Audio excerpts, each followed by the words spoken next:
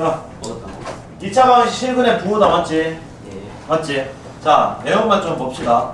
실근의 부호라고 나와 있는데요. 우리 앞에서 배웠던 내용은 다 써먹는 내용이야.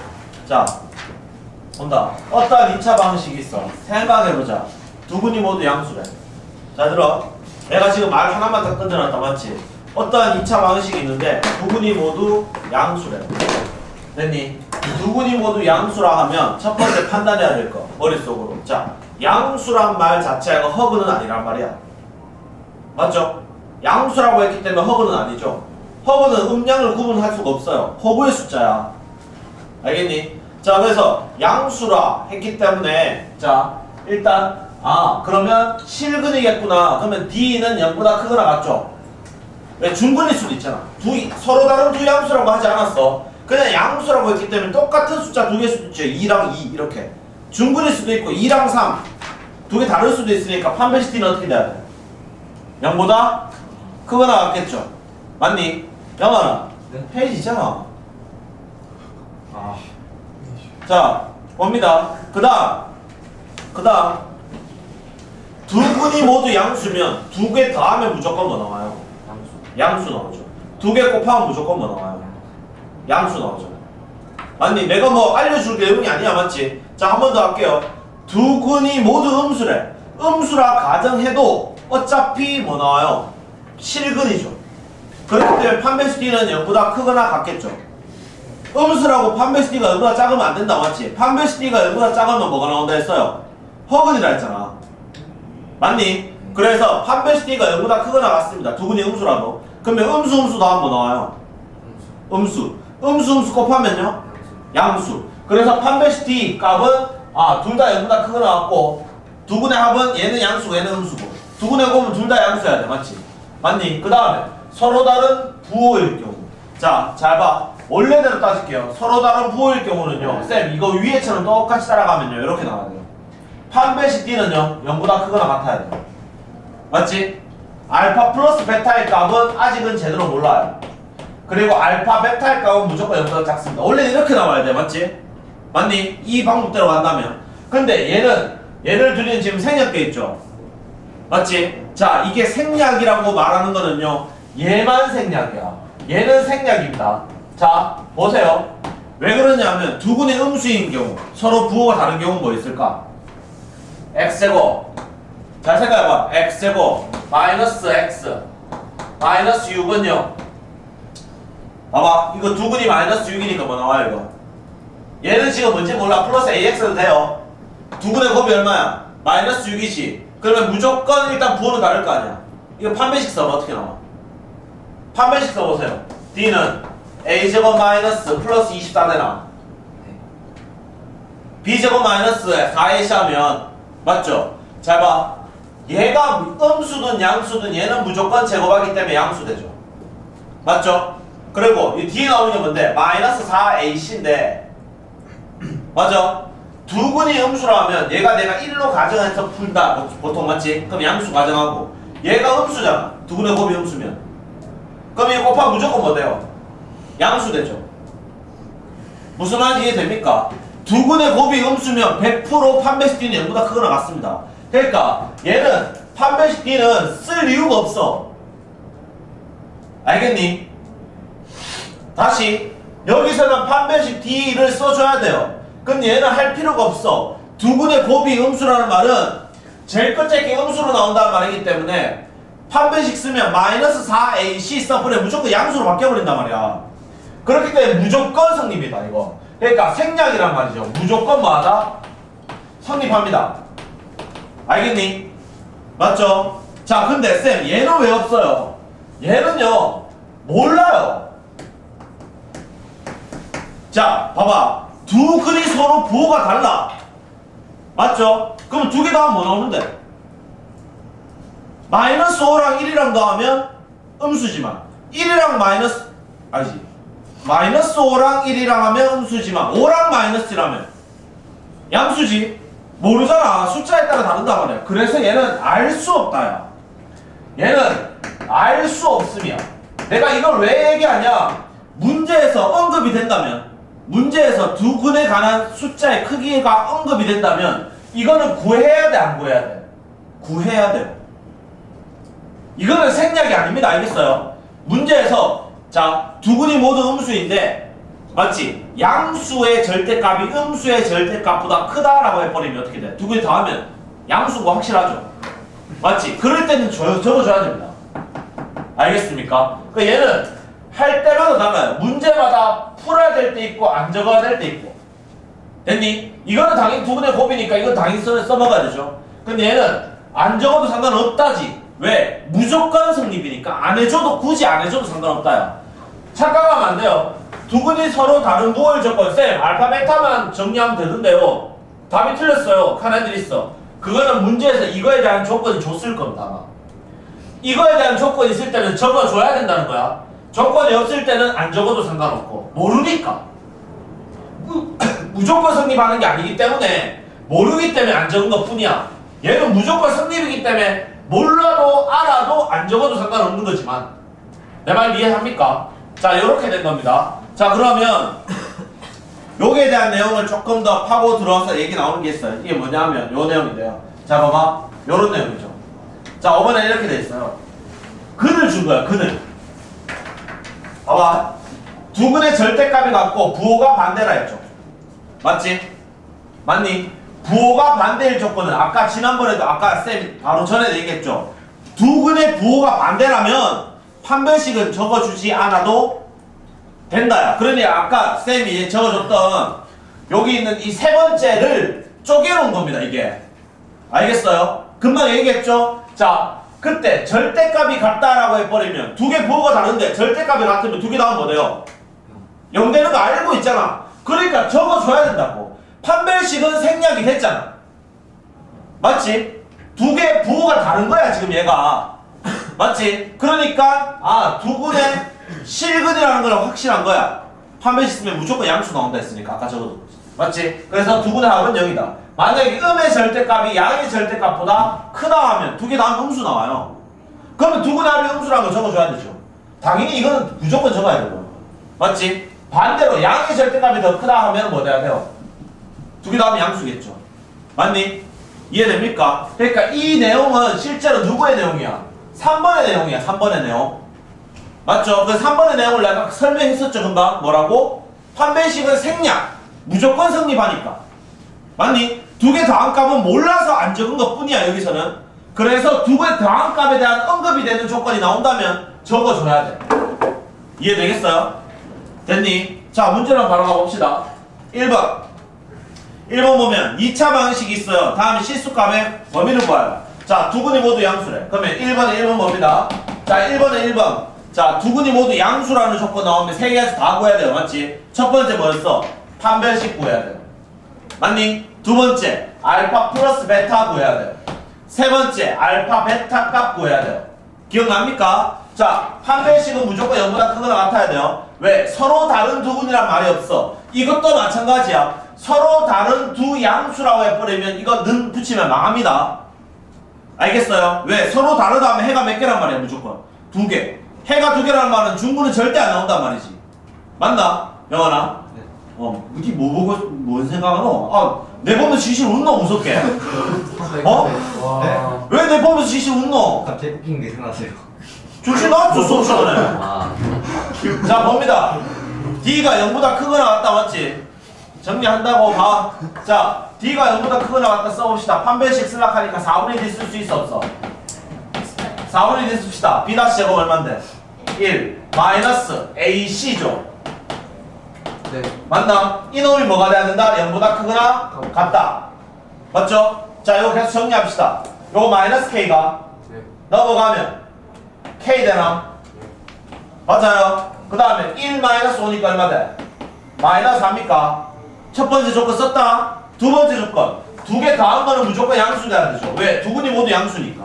그러면 두 군의 합은 우리 어떻게 구해? 이거 봐요. 네. 맞지? 두 군의 합이 여기서는 얼만데? 이. 어, 두 분의 합은 2예요. 2는 양수니까 이 조건은 쓸 이유가 없는 거야. 이 문제 때문에. 여기에 대한 식이 있으면 또 적어줘야 되겠지. 당연히. 세 번째, 두 분의 곱도 양수죠. 네. 맞아요. 두 분의 곱은요. 이 값이야, 맞지? 그대로. 그러면, 아, 곱은요, 뭐다? K 플러스 5인데요. 이게 양수가 돼야 돼요. 이 말은 K 값은 얼마 돼야 돼? 마이너스 5보다 커야 됩니까? 맞니? 결론 이거 다 세 개의 공통 범위는 뭔데요? K는요 K는 뭐보다는 크고 마이너스 5보다는 커야 돼요. 근데 K는 뭐보다는 작거나 같아야 돼. 마이너스 4보다는 작거나 같아야 돼. 이게 답이 되는 거예요 1번은. 세 가지 다 적어진다는 게 중요한 거야 맞지? 자 2번 봅니다 2번. 자 2번. 1번에 2번입니다. 두 분이 서로 다른 부호래요. 아까 얘기했어. 서로 다른 부호인데 다른 조건이 있어 없어? 없어. 이때는 판별식 생략 가능하다 맞지? 그리고 두 개 다음 값은 몰라서 안 구한다 맞죠? 그럼 세 번째 뭐만 구하면 돼? 두분의 곱 알파 베타 값만 구하면 돼 이게 뭐가 돼야 돼? 0보다 작아야 된다는 거지 맞니? 그러면 알파 베타 값이 얼마인데요? 얼마? K 플러스 5가 0보다 작아야 되니까 K는 무조건 마이너스 5보다 작으면 된다가 됩니다. 맞지? 이해됩니까? 정리됐어요? 그 다음 2번 여기 2번입니다. 아직 안 넘어간다. 2번 이건 1번에 1, 2번이었어요. 자 2번 2번 보면 2차 방식이 두 군이 모두 음수래. 맞죠? 두 군이 모두 음수래. 아 쌤, 두 군이 모두 음수면요. 자 구해야 될 게 있죠. 첫 번째 뭐 있어요? 판별식 B는요, 0보다 크거나 같아야 돼요. 맞니? 서로 다른 두 근이라 하면 뭐 해야 된다? 갖다 빼야 된다. 알겠어? 같은지 다른지 내가 모르기 때문에 두 개 다 적어놓은 겁니다. 두 번째, 두 근의 합은요. 알파 플러스 베타는 무조건 0보다 작아야 돼요. 세 번째, 두근의 곱은 무조건 0보다 커야 됩니다. 이거 맞죠? 이해되나? 정리됐어요? 이 식 정리합니다. 판별식 씁시다. 판별식. 4분의 D 쓰면 되나? 4분의 D 쓰면 되죠? 자, 4분의 D 씁시다. 뭔데요? K 플러스 1의 제곱이가? 알겠지만 중간에 놓쳐버리면 계속 놓칠 겁니다. 고등학교 수학. 알겠어? 빠진 거 있으면 무조건 앞에 거 다 메꿔놔야 돼요. K 플러스 1의 제곱 마이너스 AC니까 마이너스 K 제곱 마이너스 7이가 맞아요. 이 정도 계산. 자, 이게 0보다 큰 거랑 같대요. 계속 풉니다. 풀면 어떻게 돼요? K제곱 플러스 2K 플러스 1에 마이너스 K제곱 마이너스 7이 0보다 큰 거랑 같죠? K제곱 K제곱 날라가니까 2K 남고요. 얘는 마이너스 6 넘어가면 6 되죠? 따라서 K값 얼마 돼야 돼? 3보다 크거나 같다. 라는 첫 번째 식이 나오네요. 맞죠? 두 번째, 알파, 부- 알파 플러스 베타는 0보다 작대요. 얘는요. 두분의 곱이 얼마인데요? 두분의 곱 얼마야? 아, 저 미안. 두분의 합. 미안합니다. 두분의 합 얼마? 마이너스 2에 k 플러스 1이 뭐보다? 0보다 작아야 되죠. 맞니? 그러면 마이너스 2로 나눠버리면 k 플러스 1은 0보다 크죠? 음수로 나누면 부등호 반대. 그러면 k 값은 어떻게 돼야 돼요? 마이너스 1보다 큽니다. 맞죠? 이해됩니까? 자, 세 번째 구합시다. 세 번째. 두분의 곱이죠?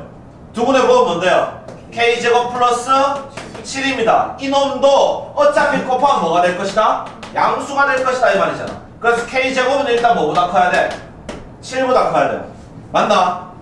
이해되나? 근데 당연히 생각해봐. 자, 조금만 생각해봐. 아, 마이너스 7이가. 자, 조금만 생각해봐. K라는 놈은 실수야, 맞지? 너가 알고 있는 실수를 제곱해서 음수 나온 적 있나? 너가 알고 있는 어떠한 실수든지 제곱해버리면 무조건 0보다 크거나 같아요. 맞죠? 그래서 지금 여기서 나오는 이 세 마리를 다 써야 되지만 얘는 안 적어도 되죠. 왜냐하면 이건 무조건 성립이야. 네가 알고 있는 K값 어떤 거든 집어넣어봐. 무조건 다 들어가. 맞죠? 그래서 필요가 없다는 거죠. 이 문제에서. 말뜻 이해됩니까? 어떤 K제곱, 어떤 수를 집어넣어도 마이너스 7보다 클 거니까. 이해됩니까? 복소수 제외입니다. 실수라고 나왔어요. 복소수는 음수가 될 수도 있다. 맞지? 자, 그래서 우리는 이거 두 개만 적으면 되네요. K는 마이너스 1보다 커야 되고, K는 3보다도 크거나 같아야 되기 때문에 공통범위는 어떻게 돼야 돼요? 3보다 크거나 되는 거겠죠. 이해되겠어요? 이해됩니까? 그 다음, 또 봅시다. 자, 양근과 은근을 갖는다 라고 나왔어요, 문제에서. 봅니다. 어떠한 2차 방정식이 있어요. 근데 이두 군의 부호가 서로 다르대. 두 군의 부호가 지금 뭐하다? 서로 다르다 돼 있잖아. 맞지? 그러면 내가 아, 아까 쌤 우리 배우기로는요 한 배씩 쓸 이유 없고요 알파 더하기 베타도 몰라서 안 적었고 알파 베타 값만 구하면 됩니다 했어 맞지? 맞니? 그래서 알파 베타 값만 구하려고 보는데 다른 조건이 나오기 시작해요 자, 어? 쌤 요것만 갖고 나왔으니까 알파 베타는 0보다 작아 근데 은근의 절대값이 양근보다 크다라고 돼 있다 맞지? 은근의 절대값이 양근보다 크다라는 말은 음수의 절대값이 더 크다. 그러니까 숫자는 음수가 더 크다는 거지. 숫자만 봤을 때 부호 말고. 그러면 음수랑 양수랑 다 무조건 뭐 나와요? 음수 나오죠. 얘가 이런 거잖아. 마이너스 5와 2. 마이너스 5 절대값이 2보다 크니까 5, 5가 2보다 크니까요. 맞지? 그래서 아 얘는 두 군의 합이 뭐다? 알파 플러스 베타가 뭐로 나온다? 0보다 작다야. 맞지? 당연히 판별식은 쓸 이유가 있다 없다? 없다. 왜? 두 군의 부호가 다르기 때문에. 두 군의 부호가 다를 때는 판별식 써봤자 100% 양수 나온다. 알겠어요? 이해됩니까? 그러면 난 이거 두 개만 보아주면 되지. 자, 봅시다. 첫 번째, 알파 플러스 베타는 0보다 작대요. 맞니? 그럼 요식 정리하면 얼마 돼요? 알파 플러스 베타 얼마 돼요? 마이너스 2에 m 플러스 3입니까? 이게 0보다 작으면 되나? 양면에 마이너스 1로 나누면 m 플러스 3은 0보다 크나? m은 뭐보다 커야 돼요? 마이너스 3보다 커야 돼요. 이해했나? 두 번째 봅니다. 알파 베타의 값은 뭐보다? 아니 알파 베타의 값은 0보다 작아야 돼요. 그럼 이 식 정리하면 5m이 뭐보다 0보다 작아야 되나? 네. 그럼 m은 뭐보다 0보다 작아야 되네. 네. 양변에 5로 나눠봤자 이해되나? 그러면 m은 0보다는 작은데 마이너스 3보다는 크니까 범위는 어떻게 구해야 돼? 마이너스 3보다는 크고 0보다는 작아야 된다. 맞지? 이렇게 된다. 이해됩니까? 네. 그 다음 또 봅시다. 자, 5번에 어떤 2차 방식이 있어요. 이 2차 방식에 두 군의 부호가 서로 다르고 절대 값은 같대요. 맞니? 자, 일단 이거 정리하면 됩니다. 잠깐 놔두고 두 군의 부호가 서로 다르다 했기 때문에 알파 베타의 값은 0보다 작다. 맞지? 알파 베타가 0보다 작다란 말 자체만으로도 판별식 D가 0보다 크다. 이거는 뭐 한다? 생략해도 된다 라는 거 알고 있죠 이제? 자 그러면 두 군의 절대값이 같다라는 말은 알파 더하기 베타의 값은 100% 뭐가 될 것입니다? 빵이 될 것입니다. 이 말이죠.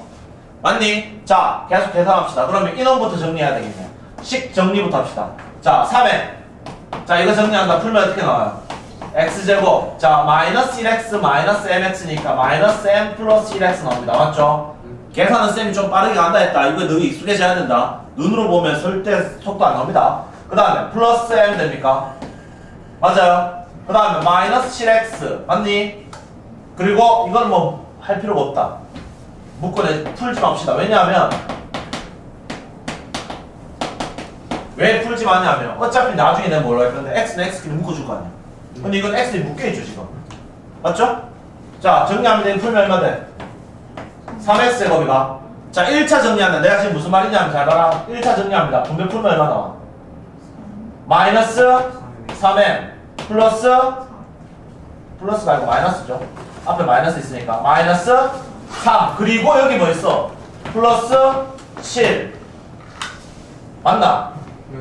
이것도 마이너스네 앞에 마이너스 있으니까 마이너스 7 플러스 m제곱이가 x죠 지금 무슨 말인지 이해됩니까? 요거랑 요거랑 한꺼번에 정리한 겁니다 맞죠? 그리고 상수 뭐 있어요? 3m 마이너스 9는 빵이가 맞죠? 조금만 더 이쁘게 정리합시다. 3x 제곱. 자 이거 정리한다. 요거 풀면 얼마 돼요? 이거 m제곱 이거 m이네. 맞죠? 그럼 m제곱 마이너스 3m 마이너스 10의 x입니까? 맞아요. 자그 다음 얘는요. 플러스 3에 m 마이너스 3이가 그냥 이거는 인수분해 때 편하게. 됐니? 자 이제 뭐 하자 이제 뭐 합시다 아까 했는데 따라가면 되잖아 알파 플러스 베타 해볼까요? 맞나? 알파 플러스 베타는 뭐가 돼야 된다? 0 돼야 된다 절대값에 맞으니까 그럼 알파 플러스 베타가 이 식에서 뭔데요? 마이너스 3분의 원래는 3분의 있어야 되죠 자 일단 곱하면 없어지겠지만 맞죠? 3분의 부호 반대니까 어떻게 돼? 마이너스 에 어 이거 인수분해 바로 돼야 안 돼? M 마이너스 5 m 플러스 2다 맞지? 그럼 내가 m 마이너스 5 n 플러스 2 했는 게 얼마 돼야 된다? 빵 돼야 된다. 어차피 부호하고 상관없이 이 위에 게 뭐가 돼야 돼? 빵 돼야 되죠. 0대라고 하면 분자가 0대하듯이 아 이 말은요 m이 5 또는 뭡니다 5 또는 일단 마이너스 2일 겁니다 라는 거 내가 알고 있어 이해됩니까? 분자가 0대야 되니까 그 다음 또 안쓴 거 하나 했죠 뭐 두근의 곱 두근의 곱 해 봅시다 두근의 곱 알파 베타는요 뭔데요? 일단 0과 작아야 되고 알파 베타가 얼마 나와? 3에 3분의 3에 n-3입니까? 맞아요. 이놈이 0보다 작아야 되죠. 어차피 이거 이거 약분되고 마이너스 3 이하면 m은 뭐보다? 3아 0. 어? 마이너스 어, 야, 계산 뭐 어려운 것도 아닌데 3이잖아. 네. 맞나? 자, 결론적으로 m은 3보다 작아야지만 서로 다른 부호를 가질 건데 문제에서 중간에가 해가 저 두 분의 합이 0이니까 2차 여기는 이놈이 0돼야 되게 하는 값이 두 개가 있었거든. 근데 이 둘 중에서 이 범위 안에 만족하는 건 뭐밖에 없는 거야? 마이너스 2밖에 없는 거야. 그래 얘는 이거하고 써버리면 이거 쓸 수가 없다는 거지. 맞지? m이 5가 돼버리면 양수가 나올 거니까. 이해됩니까? 네. 그래서 답은 뭐밖에 안 됩니다. 마이너스. 마이너스 2밖에 안 됩니다. 이 말이죠. 되겠어요?